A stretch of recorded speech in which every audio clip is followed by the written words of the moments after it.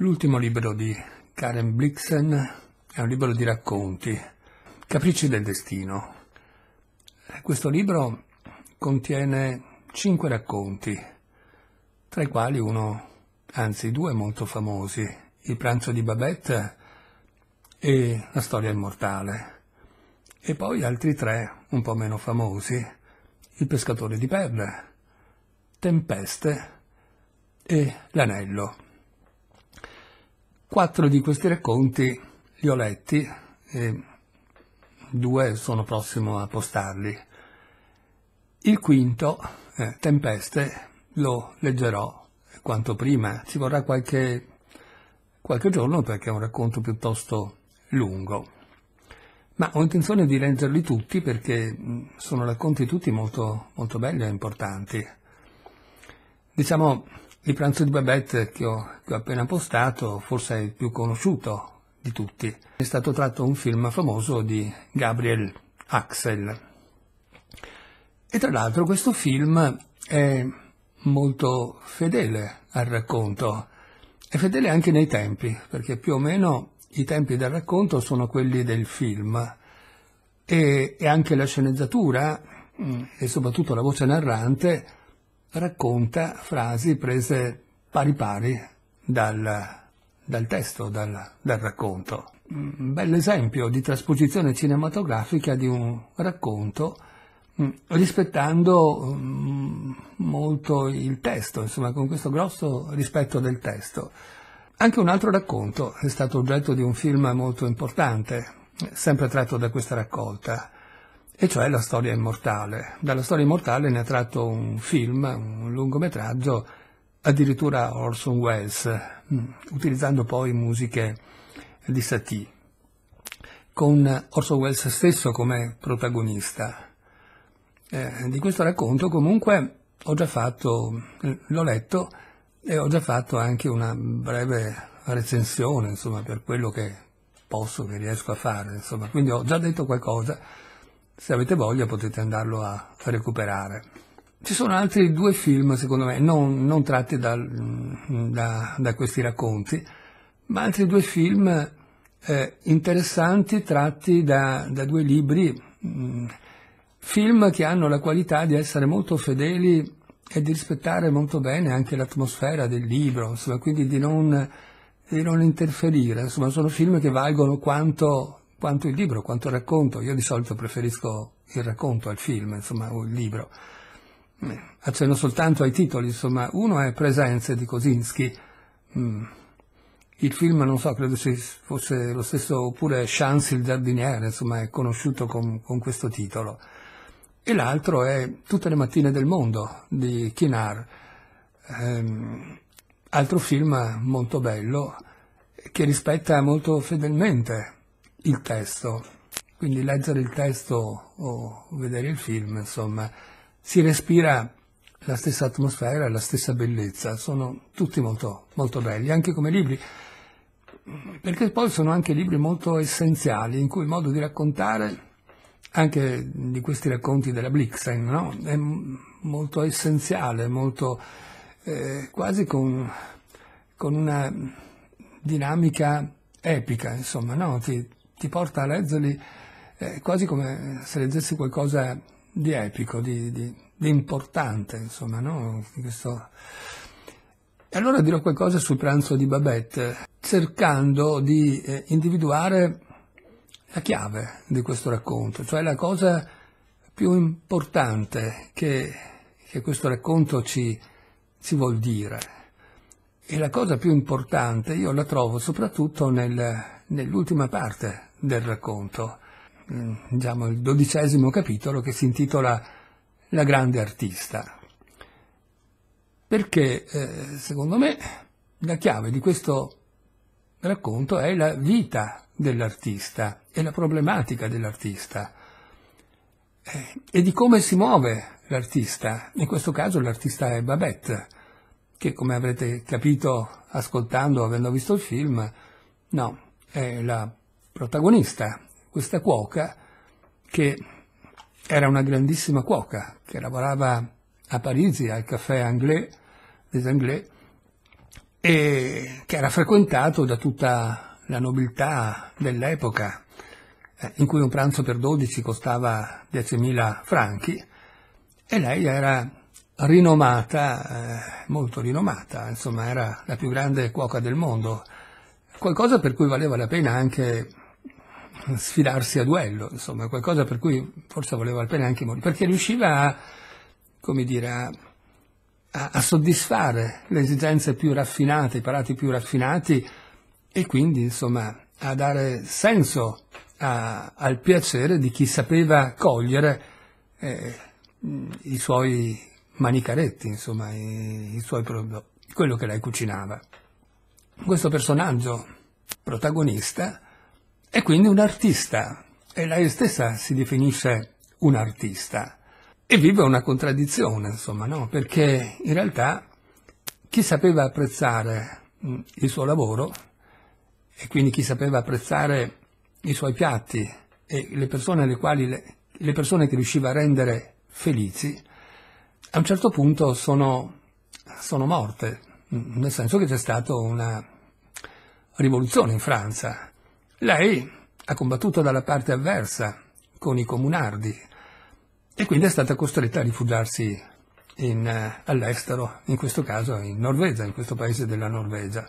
Eh, insomma, il suo destino cambia, diventa un anonimo personaggio quando entra in questo villaggio al servizio di due anziane signorine rimaste zitelle che vivono in questa realtà triste, cupa, mh, mm, mh, mm, protestante, molto religiosa, nel ricordo e nella venerazione del loro, eh, del loro fondatore, del loro padre fondatore.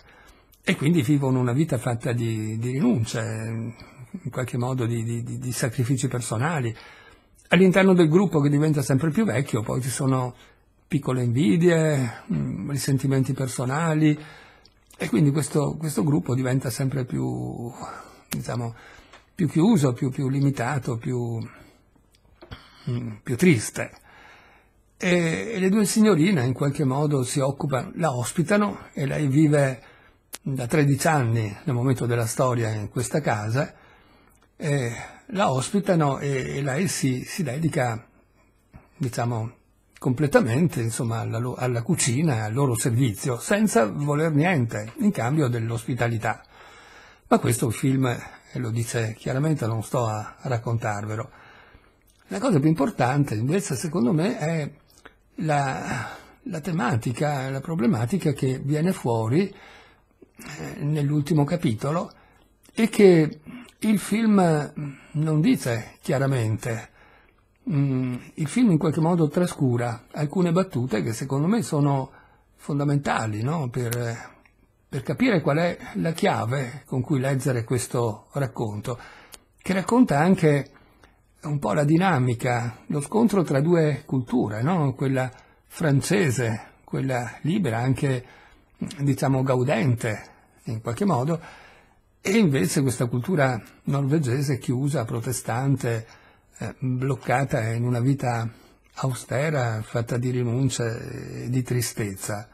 E lei dà un senso, riesce a dare un senso con la sua presenza e con la sua creatività a questa comunità in cui si inserisce, senza mai dire niente di se stessa per 13 anni, no? Quindi lei agisce nell'ombra senza mai mm, farsi valere, senza mai dire quello che voleva, senza mai eh, neanche lasciar sospettare da dove eh, eh, veniva e chi era.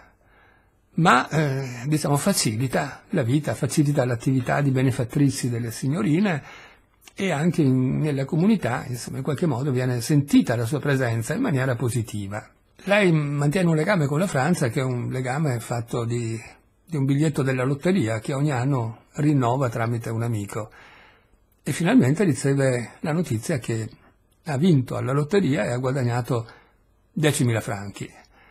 E con questi 10.000 franchi chiede il favore alle signorine di poter dare questo, eh, diciamo, offrire in occasione del centenario della morte del fondatore un pranzo chiede il permesso di andare per qualche giorno, mm, di poter andare fuori del paese per acquistare gli ingredienti, si fa arrivare gli ingredienti e prepara questo pasto. Prepara questo pranzo che trova però i dodici ospiti molto prevenuti, perché le signorine sono spaventate da questa iniziativa, insomma, no? l'opera del diavolo, qualcosa che, che in qualche modo spaventa l'equilibrio di questa comunità già in crisi.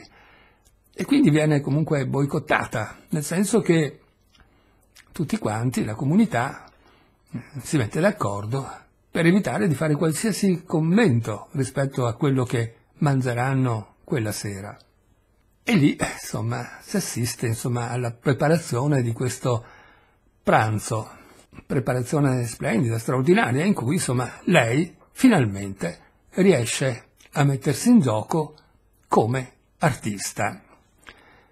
E allora, nell'ultimo capitolo, ci sono alcune cose che vengono dette e che ci aiutano a capire qual è anche la realtà dell'artista e qual è stato anche un po' il suo dramma, ma diciamo in questo scontro, eh, incontro di due culture diverse, così, così diverse, in cui lei è una rappresentante insomma, della cultura più evoluta, più, più avanzata, diciamo, rispetto a una cultura tradizionalista, bloccata, chiusa in un piccolo paese, in una piccola realtà che non conosce poi eh, la realtà del mondo, fatta di rinuncia, perché poi le, le, le, sue, le due zitelle che la ospitano a casa loro hanno, eh, si capisce nel film, ma questo è nel racconto, ma lo avete già visto, insomma, hanno rinunciato anche alla loro diciamo, felicità, ai loro possibili amori, insomma, tutte e due hanno avuto un'occasione mancata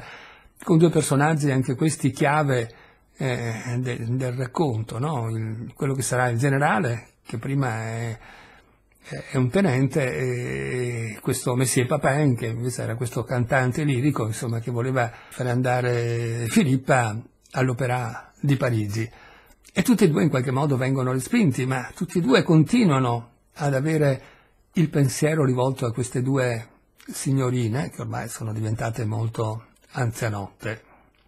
Però volevo rileggere con voi eh, l'ultima eh, l'ultima parte di questo racconto per commentarlo insieme eh, a proposito del, della vita dell'artista e della necessità dell'artista poi di, di porsi, di esprimersi, insomma, no? Perché, eh, diciamo, cosa ha mosso eh, Babette a rinunciare a 10.000 franchi, insomma, alla fortuna, a poter ritornare in Francia e a produrre se stessa in questo pranzo che ha divorato tutta la vincita, no?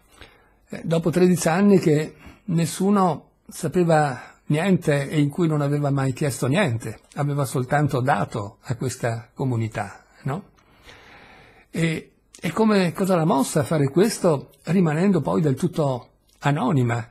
Eh, tutti quanti poi se ne andranno da questa cena senza nemmeno salutarla, e lui rest- lei resterà sola, soltanto le signorine, insomma, andranno a dirle qualche parola alla fine di, questa, di questo pranzo, cena, insomma, quello che, eh, quello che è, per ringraziarla, insomma, perché poi eh, questa, questo pranzo eh, sarà, sarà molto importante, no? Perché riuscirà a riunire, senza volerlo, a riunire e a riappacificare questa comunità in crisi, insomma, no? Si riuscirà a creare attraverso la sua arte, attraverso i suoi cibi, che vengono ignorati dalla gran parte della comunità, eccetto dal generale, insomma, da questa figura importante per capire quello che, che sta succedendo e per commentare quello che lei porta in tavola, eh, tutti quanti non riconoscono no, quello che lei fa, quello che lei ha fatto o cosa stanno mangiando, però alla fine, diciamo, l'arte quello che lei produce, si manifesta attraverso il cambiamento dell'atmosfera. Mm. Questa gente triste, un po' vendicativa, un po'... insomma si riappacifica, c'è, una, c'è un'atmosfera che cambia completamente e ritrova uno spirito di comunità, uno spirito, un legame che li fa sentire bene insieme e tutti partono in qualche modo da questa cena riappacificati, gioiosi, tranne a dimenticarsi di lei, insomma, che anche della sua presenza, insomma, la ignorano completamente, no? E allora c'è questo resoconto poi, alla fine, eh, quando Martina e Filippa si ricordano di Babette e quindi le coglie un, un po' di tenerezza, di compassione, eh, perché soltanto Babette non aveva spartito la felicità della serata. E allora vanno in cucina, no? E, e dicono, vabbè, insomma è stato un, un ottimo pranzo, no? E improvvisamente diventano come riconoscenti e si rendono conto anche che nessuno degli ospiti aveva detto una parola sul cibo, ma erano state loro a, a convincere gli ospiti a non commentare assolutamente i cibi, no? E vabbè, poi c'era stato l'episodio della tartaruga. E comunque, insomma, Babette si mette a sedere sul ceppo, circondata da pentole, padelle, insomma, ne aveva usate tante, ed è stanchissima, no? Era pallida, sfinita, eh, come, come la sera quando era arrivata sotto la pioggia e così via. E dopo un pezzo, allora guarda le sorelle e fissamente e, e si rivela, no? e dice per la prima volta dopo 13 anni, una volta ero cuoca al caffè anglais. No, il caffè anglais tra l'altro è quello dove andavano a pranzare sia Messie Papin, il tenore, che aveva diciamo, corteggiato a modo suo una delle due sorelle, sia il tenente che poi è diventato generale e che è presente alla cena. Allora Martina le dice eh, l'hanno pensato tutti che era un ottimo pranzo. E poi mh, lei non risponde e le dice ancora, ricorderemo tutti questa serata, quando voi sarete tornata a Parigi, Babette, perché pensano che dopo questa, eh, questa, questo pranzo, mm, alla fine lei se ne tornerà con la sua vincita a Parigi, no? Perché la pensano ancora in possesso dei 10.000 franchi. E Babette dice, non torno a Parigi, no? Come? Non tornate a Parigi? dice Martina. Eh no, disse Babette. Che cavolo farai a Parigi? Sono andati tutti. Li ho persi tutti, madame. E tutti a chi si riferisce, no?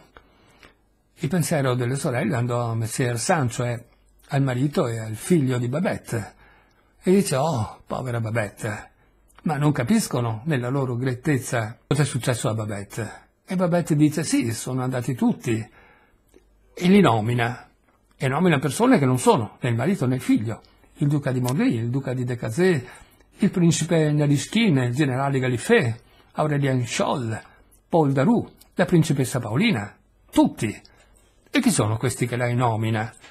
Tra l'altro nel film mm, questo non, non, non compare, non si dice. Eh, gli strani nomi e titoli delle persone che Babette rimpiange, no? che lei ha perduto, confondono un po' le due signorine, no? non sanno a chi si riferisce. No? Erano persone invece celebri nella Parigi dell'epoca perché erano quelli che avevano fatto impiccare o ammazzare i comunardi. Ma quell'annuncio era una così sconfinata prospettiva di tragedia che addirittura si commuovono con lei e piangono. E quindi un altro momento di silenzio. E Babette all'improvviso un piccolo sorrisetto e dice come potrei tornare a Parigi, madame? Io non ho denaro. E qui ammette che ha speso tutto, no? Non avete denaro? gridarono le sorelle come con una bocca sola. Eh no, disse Babette. Ma i diecimila franchi, chiesero le sorelle, ansimando inorridite, perché nella loro logica, insomma, no, di risparmiatrici e di buttare via 10.000 franchi così, insomma, era una cosa in... assurda. E dice, i 10.000 franchi sono stati spesi, madame, dice Babette. E le sorelle rimangono sconvolte, si mettono a sedere e per un minuto non riescono a parlare. Ma 10.000 franchi, sussurrò lentamente Martina. Eh, che volete, madame? disse Babette con grande dignità. Un pranzo al caffè anglais a Parigi costerebbe 10.000 franchi un pranzo per 12. Le signorine, anche in questo caso, rimangono zitte, non sanno cosa dire. Per loro era incomprensibile questa cosa, no? Ma quella sera tante cose per loro, in un modo o nell'altro, erano rimaste incomprensibili. Cara Babette, disse con dolcezza una delle due, non dovevate dar via tutto quanto per noi. E questo è il punto chiave, secondo me. Cioè, non dovevate spendere tutti i vostri soldi per noi, perché loro sono convinte che l'hanno fatto per loro. E Babette avvolse il suo padrone con uno sguardo profondo, in uno strano sguardo. Non vera, in fondo adesso pietà, o forse anche scherno? dice la Blixen. E Babette dice, per voi, replicò. No, non l'ho fatto per voi, l'ho fatto per me. A questo punto si alza dal ceppo, si ferma davanti alla sorella, Rita, e dice con orgoglio, io sono una grande artista, disse. Aspettò un momento, poi ripeté, e quindi lo ribadisce. Sono una grande artista, madame. Poi, per un pezzo, vi fu in cucina un profondo silenzio.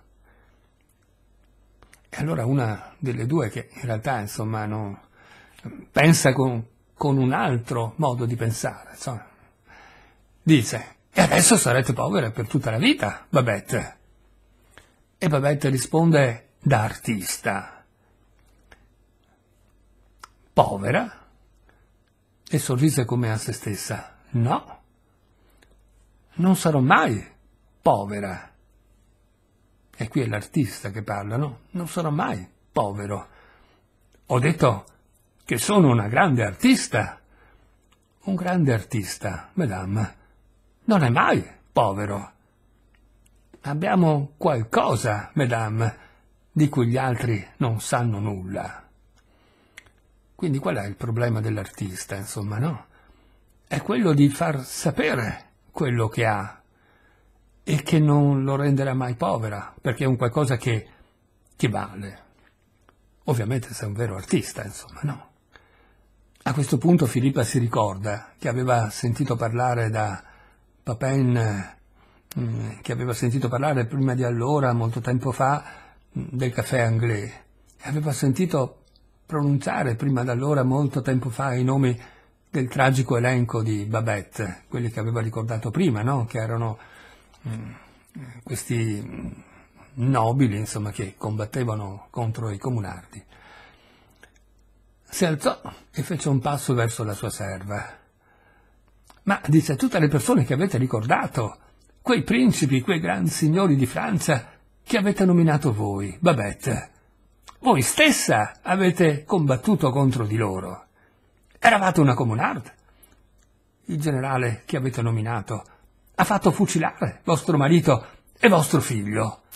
Come potete piangerli? E qui gli occhi scuri di Babette si incontrano con gli occhi di Filippa. Sì, disse, ero una comunarde, grazie a Dio. Ero una comunarde, e tutte le persone che ho nominato, mesdames, erano malvagie e crudeli. Quindi, insomma, lei ha combattuto la comunare hanno fatto morire di fame il popolo di Parigi. Hanno oppresso i poveri e li hanno trattati ingiustamente. Grazie a Dio sono stata su una barricata e ho caricato il fucile per i miei compagni uomini. Insomma, ha fatto la scelta giusta di combattere contro queste persone. Ma tuttavia, c'è un però, un ma, non tornerò a Parigi. Ora che le persone di cui ho parlato non ci sono più. E qui rimase immobile, smarrita al ricordo. E va avanti. Perché, madame, disse alla fine, questa gente mi apparteneva, era mia.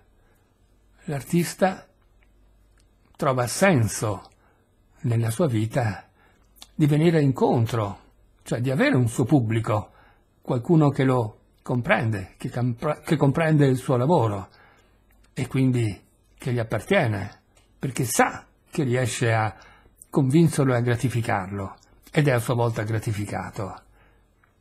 Cioè questa gente, lei dice, era stata allevata ed educata e quindi la necessità di, dell'educazione per comprendere l'arte, con una spesa molto maggiore a quella che loro, mie graziose Signore, potranno mai immaginare o credere. Era stata educata a capire quale grande artista sono io. No, l'unico quella serata che aveva capito quale grande artista poteva essere e che aveva collegato le cose era stato il generale. Tutti gli altri avevano assolutamente snobbato, avevano scambiato lo champagne con limonata, insomma, cioè non avevano assolutamente capito niente. Però l'arte, nonostante questa ignoranza, eh, era venuta fuori lo stesso, perché aveva cambiato l'atmosfera della serata, il clima in cui queste persone si sono mosse per, per tutto il tempo successivo. E Babette dice, era stata allevata ed educata con una spesa molto maggiore di quella che loro, mie graziose signore, potranno mai immaginare o credere. Educate a capire quale grande artista sono io. Quindi ci vuole educazione e questa educazione costa anche per capire l'arte. In questo caso l'arte della cuoca, ma possiamo pensare anche a tante forme d'arte. E dice, potevo renderla felice. Il suo orgoglio era la sua capacità di rendere felice coloro che erano stati educati a capirla. Quando facevo del mio meglio, riuscivo a renderla perfettamente felice. Ecco l'orgoglio dell'artista, no? Quando faccio del mio meglio e sono messo nella condizione di fare del mio meglio, e quindi ho un pubblico che è educato per capire quello che faccio, riesco a renderlo perfettamente felice. L'arte può rendere felice, ovviamente chi la sa cogliere. E qua si ferma un momento. È stato così anche per Messie Papin, disse.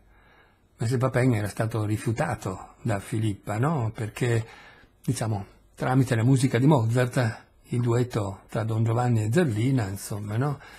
Eh, Papin l'aveva baciata sulla fronte, insomma, mostra il film. Diciamo, causa la musica di Mozart. Per Messie Papin? chiese Filippa.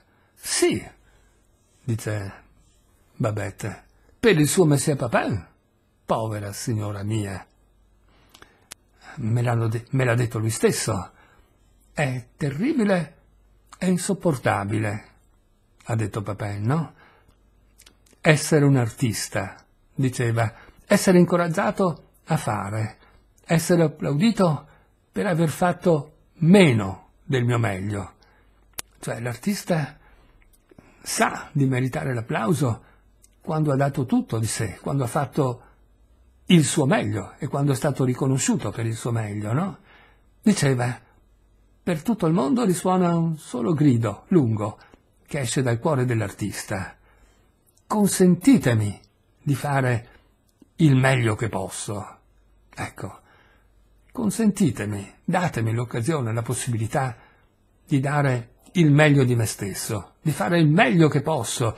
Io voglio essere applaudito, riscuotere il consenso quando ho la coscienza di aver dato tutto quello che potevo. Questo poi è l'orgoglio dell'artista, no? E Filippo andò da Babette e la strinse fra le braccia. Sentiva il corpo della cuoca come un monumento di marmo contro il proprio, ma lei stessa si scuoteva e tremava da capo a piedi. Vabbè, e qui si arriva al finale. Ma secondo me, insomma, questa problematica sulla necessità dell'artista, eh, questo personaggio, questa Babette, che si realizza anche con un pubblico che, o con una, diciamo, con, con delle persone che non riescono a comprenderla, ma che a un certo momento della sua vita riesce a vincere un premio, è tutto quello che ha. Dopo che si spende gratuitamente da tanti anni per due signorine che alla fine non, in un ambiente in cui non riceve nessuna gratificazione, lei la grande cuoca del caffè d'Anglais a Parigi, insomma la più grande cuoca del mondo, insomma. E, e dopo tutti questi anni riesce ad avere questa vincita e riesce a spendere, quindi a cercare di, di procurarsi tutti gli ingredienti e di spendere tutti i suoi quattrini, ma non solo, anche tutte le sue energie per contribuire a questa ricorrenza, a questa festa, a questo giorno in cui si ricordava il centenario della morte del fondatore, eh, con un gruppo di persone, insomma, anziane, decadenti, grette, abbastanza meschine, insomma, nella loro, diciamo, fede abbastanza esaltata, ci sono anche tante citazioni bibliche nel racconto, insomma, forse ci sono altre chiavi di lettura. Io ne do una, insomma, ma ognuno poi può scegliere anche altre chiavi di lettura. Comunque lei spende tutto quello che aveva, tutte le sue energie, tanto vero che nel racconto si dice che poi alla fine era come quando era arrivata, insomma, era arrivata che si era accasciata, sfinita, eh, eh, senza forze, senza energie e quindi senza essere riconosciuta poi, insomma, no? in queste, soltanto per la necessità in qualche modo di fare qualcosa che le dimostrasse ancora una volta quello che poteva valere, per essere messa in condizione, per mettersi in condizione, per trovare l'occasione di esprimersi, quindi il gruppo di persone per le quali cucinare e spendere tutte le sue risorse per dimostrare il suo valore d'artista e finalmente potersi dichiarare anche artista e far sapere cosa significa o cosa poteva aver significato, anche le contraddizioni che aveva vissuto, essere artista in una società più complessa come poteva essere quella parigina rispetto a quella di un piccolo paese della Norvegia, in un fiordo della Norvegia. E quindi finalmente riesce a, a dichiararsi. E questo secondo me, insomma, è un po' la chiave di lettura di questo racconto. Poi il racconto si snoda ed è molto bello anche come, come è costruito, no? Perché queste storie un po' si intrezzano, no? Il, le occasioni mancate delle due signorine, il tenente che poi diventa generale, il tenente che che a un certo punto non riesce ad esprimersi, non riesce a dichiararsi e, a un certo punto rinuncia e cambia vita, si butta in altro, si butta nella carriera, però soffre, non sa e arriva anziano anche lui a dubitare ancora del valore della scelta che ha fatto. E quella sera partecipa a quella cena cercando di verificare se quella scelta che aveva fatto allora era quella giusta oppure no. no? e a un certo punto si alza e fa un discorso che potrete riascoltare, che è molto bello da sentire, anche quello con citazioni bibliche.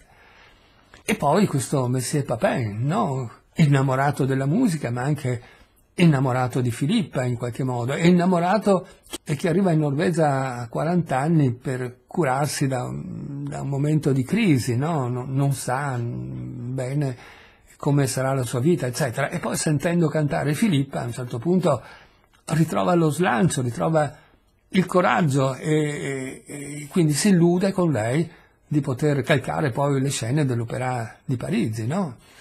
E, trasportato poi facendole, cantando con lei il duetto di, di Don Giovanni e Zerlina, a un certo punto si sente trasportato e, e, le dà un bacio sulla fronte e non sa neanche lui poi se l'ha baciata o no, insomma, no? Perché in realtà non è lui che l'ha baciata, ma è l'arte, Mozart, insomma, che, che stava cantando con passione con lei, no? E che aveva trovato una partner con la quale fare qualcosa insieme, no? Anche qua, l'arte che, di, che crea comunicazione tra chi la fa, no? Questa, questi legami che succedono tramite, tramite l'arte, no?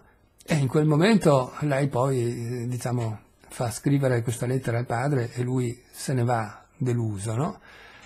E quindi questa, questa, chiusura, anche queste occasioni mancate di queste signorine che poi rimangono zitelle, chiuse in una vita triste, una vita, nonostante la loro beneficenza ai poveri, che poi diventa possibile e diventa utile quando ricevono poi eh, l'aiuto da parte di, alle quali credono di far beneficenza, ma insomma in realtà chi ha portato eh, un po' di gioia in quella, in quella casa, in quella realtà è stata, è stata Babette, no? Ecco,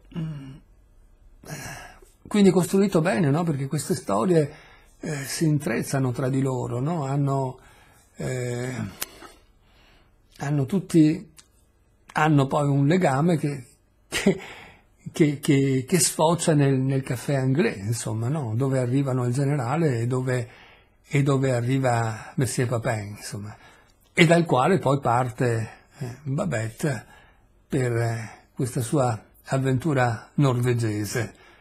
E, e, dove finirà Babette, insomma, come, come si conclude il racconto, insomma, no? E, eh, si conclude ripetendo poi un'altra cosa che viene citata nel, in un'altra parte nel racconto, no? dove a un certo punto Papin dirà a Filippa voi canterete in paradiso con gli angeli, una cosa del genere, se ricordo bene, no? E qui la, la fine del, del racconto, no?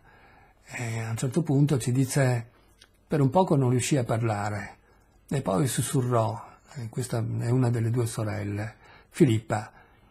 Eh, per un poco non riuscì a parlare, poi sussurrò, eppure non è la fine. Insomma, il racconto poi parla anche no, della fine, delle, anche il discorso del generale, no? Eh, queste cose, le scelte, anche quelle non fatte, alla fine ritornano, c'è una specie di grazia, insomma c'è qualcosa che eh, che fa sì che non tutto sia perso comunque, insomma, no? che si possa anche cambiare e rientrare in una scelta mancata che non è stata fatta in un certo momento o nel momento in cui è stata fatta la scelta sbagliata. E quindi eppure non è la fine, dice. Sento Babette che questa non è la fine. E qui insomma, in paradiso, e qui è la comunità, cioè diciamo, è la, la, la, fede che si respira in questo gruppo, in questa comunità, in questo gruppo di, di, di protestanti. No? Eh, in paradiso sarete la grande artista che Dio ha inteso che foste. Cioè, ormai in terra non ha più possibilità, no? perché, perché soldi non ne ha più. Quella comunità, quello è quanto può darle, e, e da quella comunità mh, mm, non potrà nascere nient'altro. Anche Babette ormai è diventata più vecchia, no? E quindi quale speranza può, si può lasciare nel racconto a Babette? Quest'ultima, insomma, del paradiso, no? In paradiso sarete la grande artista che Dio ha inteso che foste. E quindi anche qua, insomma, c'è l'allusione al fatto che l'essere artista in qualche modo è una grazia che si riceve da Dio, insomma, no? Non è tanto una costruzione, un lavoro, che so io, insomma, no? Che, che l'artista fa per essere, ovviamente, insomma, eh, non si nasce artisti, oppure si nasce anche artisti, ma c'è bisogno di un lavoro per diventarlo. E comunque in paradiso sarete la grande artista che Dio ha inteso che foste. Oh, soggiunse, e le lacrime le grondavano giù per le guance. Oh, come incanterete gli angeli! E questo discorso un po' degli angeli ritornerà fuori poi eh, eh, anche in questa stessa raccolta di racconti in un altro racconto, eh, sempre della Blixen, eh, che troverete nei prossimi giorni, e cioè nel pescatore di perle. Altro personaggio interessante che fa due esperienze completamente diverse di vita, ma eh, lo ascolterete molto presto. Una buona serata e auguri di buona Pasqua.